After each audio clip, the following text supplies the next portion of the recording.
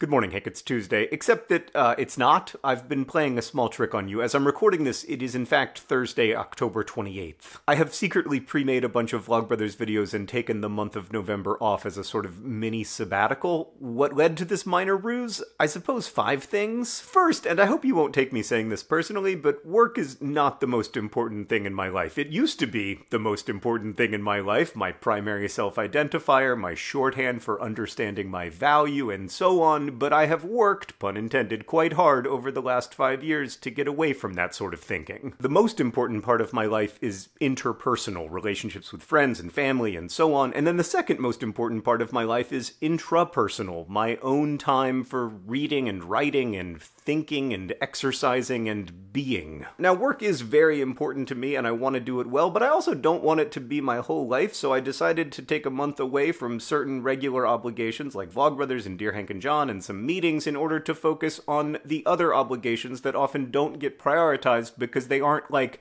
economically productive, they're just actually productive. Like, to use a very basic example, a while back I made a Vlogbrothers video about how the most important time in my day was the time spent chatting with my kids after picking them up from school, but on the day I made that video, I was actually too busy to pick them up from school. This is obviously not the proper alignment of priorities, so I'm gonna take a month to try to figure that out. Secondly, this whole uh, boot situation requires a bit of rehab. Thirdly, for the last several years, my mental health has been mostly stable and good, which has been great, but then for the last little while, it was uh, not that stable and not that great, which was unfun. Like, you know how when you feel faint, your peripheral vision starts to get clouded? It was like that, except like worry was invading from every direction. Fortunately, that's been getting better the last couple weeks, but I want to focus on it without neglecting Vlogbrothers. Like, I know I could have just hit pause on this, but I, I value the conversation so much I didn't want to do that. Fourth, I want to see if taking time away from regular work obligations gives me more time and inclination to write. I've talked about this obliquely but never directly. Somewhere along the line, though, publishing became pretty unpleasant for me. I don't know how much good it does to get into the details of this, but like publishing was my dream for most of my life, and it was really fun and fulfilling at the beginning, and then at some point,